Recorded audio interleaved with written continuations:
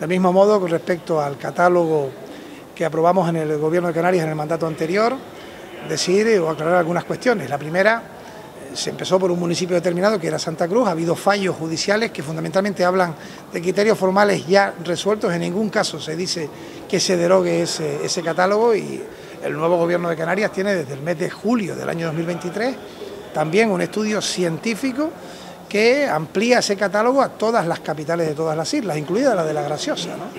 Y por tanto no, no, es verdad que sea solamente de un municipio, se aplica ya a todas las capitales y posteriormente a todos los municipios restantes de Canarias.